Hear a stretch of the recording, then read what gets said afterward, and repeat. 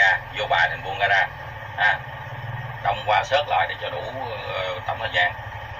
Rồi mở xi nhan cái đem vô số 1 bắt đầu thi rồi đi nghe từng từng tắt nhan nè bài thi tiếp theo bài thi dừng xe nhường đường cho người đi bộ.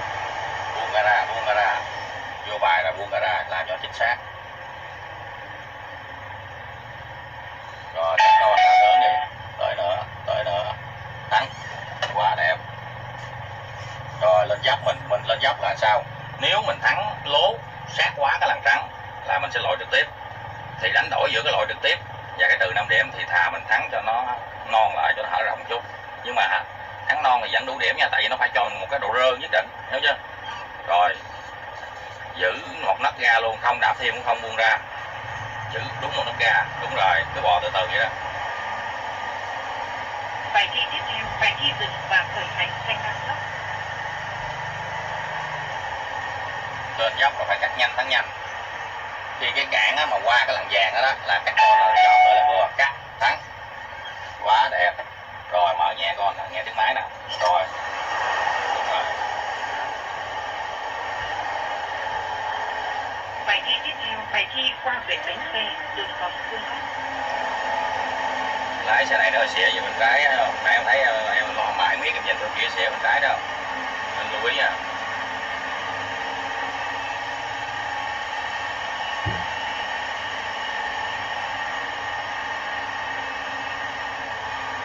rồi vô cho đúng chuồng nha mình là vô dấu rồi buông gara đi rồi làm trước đi.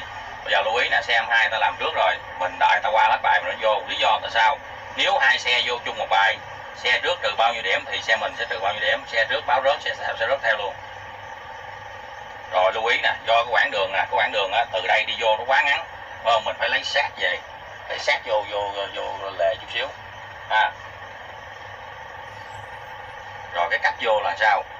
Mình nhìn vô gương lội, mình chỉnh cho cái mí cản á, nó hơi đè đè đè lên cái con lương ờ, bê tông cắn đỏ đó. Tại sao? Cái quãng quá ngắn. Đúng không? Nếu mình hở rộng quá thì cái bánh cái bánh xe sau đó?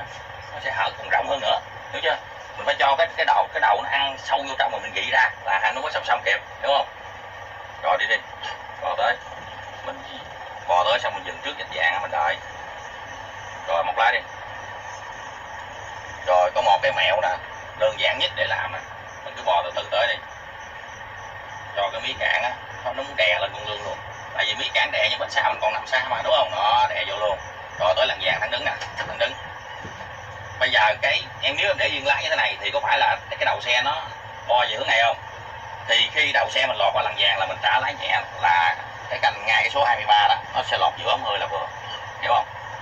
Rồi, dẫn tới.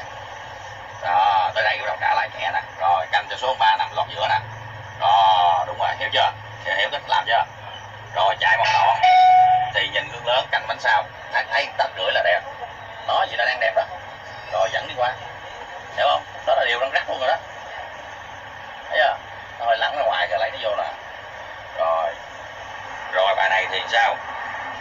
Hết dài đánh lái, đúng rồi dài lọt hết góc mới đánh lái. Nhìn xuống chân bánh đi. Đẹp không? Rồi quá đẹp. Rồi bám bám về bên này. Không mở rộng đường cua ra. Đi qua lọt bên lái nè. Rồi móc. Móc bên nào thì sao? Mắt nhìn vô gương bên đó quá đẹp rồi từ đây đi bằng số mấy à, từ đây đi số 2 cho kịp thời gian bài thi tiếp theo bài thi qua Các mã con C thả có rớt. tín hiệu điều khiển giao thông rồi, mình đi trước á mình không đi trước, mình không kịp giờ.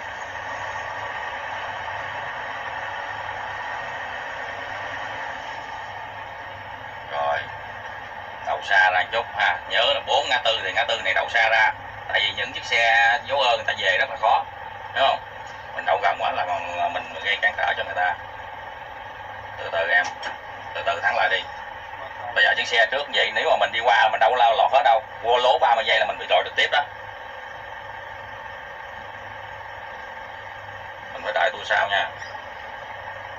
số vô số đi, có mấy chục giây à.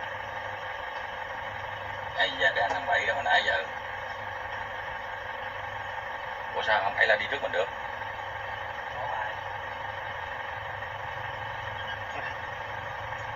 Sau ờ. Rồi, đi. Từ từ thôi.